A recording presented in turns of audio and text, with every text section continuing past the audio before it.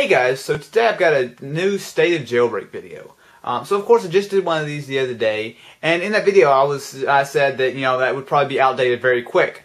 Um, I was joking. I didn't actually think it would be outdated in two days. But guys, yesterday Apple announced the new firmware, and then today they've announced more new firmware. So guys, I'm going to walk you through what's going on with the whole jailbreak situation, because um, again, it's getting more and more complicated. Um, first of all, and hopefully I you guys are watching this video before you've even noticed it, 4.0.1 is now out for the iPhone. Not for the iPod Touch, just for the iPhone. So guys, this is a really, really simple update. Basically, of course, with iPhone, you have the, uh, the signal bars. Well, basically, the signal bars are now taller and they're going to be, you know, better at showing your signal. And yeah, guys, it's not going to help you. If you download it, it's not going to help you get better reception. It will just look like you're getting better reception, or it'll look it'll, it should just be more accurate. Um, guys, of course, this is standard. Do if you're planning on jailbreaking, do not update at all. Um, it does seem like this is a very, very minor update for the iPhone. It is not for the iPod Touch, obviously. Um, so it looks like it's going to be a minor update. So guys, trust me, just stay off of it. It's not going to help you anything. If you really have to do it, it looks like it will be jailbreakable here in the next, uh, you know, really recent time. But of course, guys, just stay away from it for the, just the moment. Um, so guys, there's another thing, and for the iPad, this is a little bit more serious. 3.2.1 is now out for the iPad.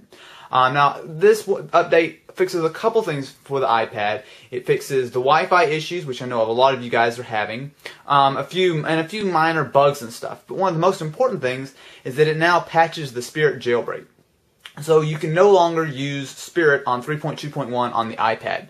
Guys, that's not good news. Um, you know, of course, it's really, you know, there's really not a whole lot. I mean, Spirit's fantastic for jailbreaking, but now it's pretty much totally outdated. So guys, please stay away from 3.2.1 on the iPad. There's no, there's no, um, there's no time frame or anything. We have no idea when an update for Spirit or some other jailbreak will be out for the iPad.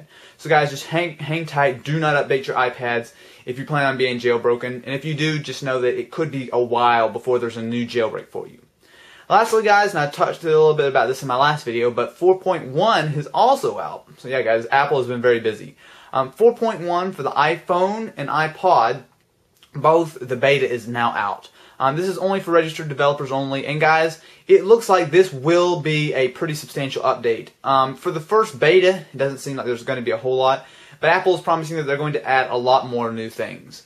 Um, so guys, this one actually is pretty simple to jailbreak. Uh, you can you can go ahead and just use redsn0w, um, the same redsn0w jailbreak that uh, many of us have been using already. That will already jailbreak 4.1. But guys, I wouldn't be surprised if they update it or you know update the, maybe the baseband or something. So guys, just be really careful. Obviously, it's in a beta, so 90% of you guys aren't going to be able to get it anyway.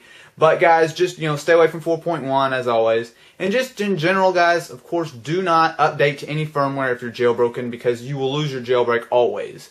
Um, you may or may not be able to jailbreak after the fact, but it's always a good idea to you know do your research, do see what Apple's patched, all that kind of stuff.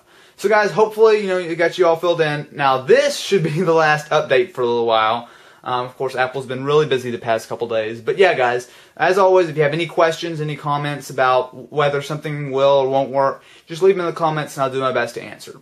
Anyway, guys, thanks for watching.